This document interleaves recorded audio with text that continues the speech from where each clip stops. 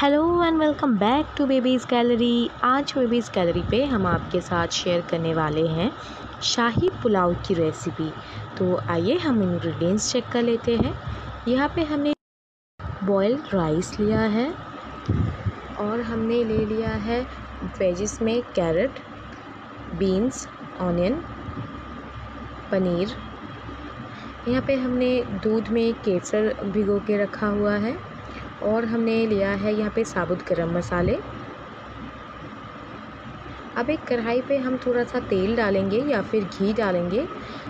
उस पर साबुत गरम मसाले जो है वो डाल देंगे।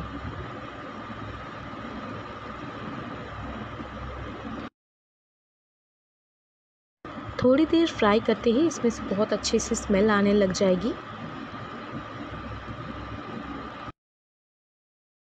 अब हम इस पर टू टेबल स्पून शुगर डाल देंगे और अच्छे से थोड़ी देर के लिए इसको पका लेंगे और कैरमलाइज कर लेंगे। अब हम इसमें डाल देंगे कटे हुए ऑनियंस और अच्छे से हम इसको फ्राई कर लेंगे।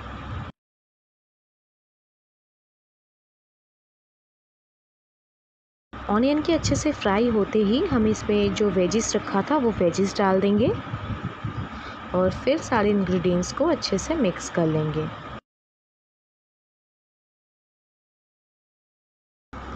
अब हम इसमें ऐड करेंगे भिगोए हुए काजू और किशमिश।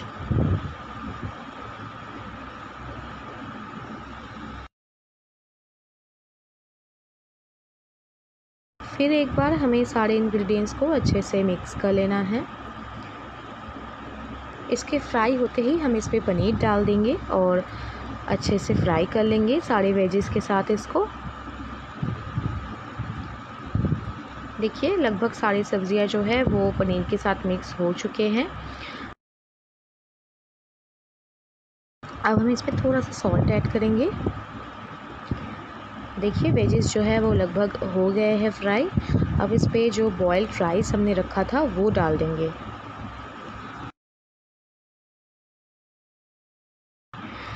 राइस हमने डाल दिया है सारा। उसके ऊपर हम सॉल्ट डाल रहे हैं। सॉल्ट आप अपने टेस्ट के हिसाब से डालिए।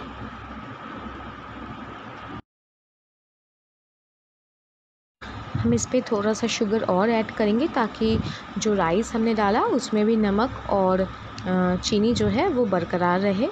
इस पर हम ऊपर से थोड़ा सा घी डालेंगे। और अब हम इसमें डाल देंगे जो हमने मिल्क में सेफ्रॉन भिगो के रखा था, वो। देखिए, हमने अब इसको अच्छे से मिक्स कर लेना है। शाही पुलाव जो है वो बनके तैयार है। अब लास्ट स्टेप बस ये है, हमें इस पर थोड़ा सा गरम मसाला पाउडर छिड़क देना है ऊपर से और मिक्स कर लेना है। बस शाही पुलाव जो है वो बनके तैयार है प्लेटिंग के लिए। शाही पुलाव जो है वो बन के तैयार है। अब इसको आप कोई भी दम आलू या फिर कोई चिकन की रेसिपी के साथ भी सर्व कर सकते हो। अगर आपको हमारी रेसिपीज़ अच्छी लगी तो हमारे चैनल को लाइक शेयर और सब्सक्राइब करना बिल्कुल ना भूलें। Thank you for watching this video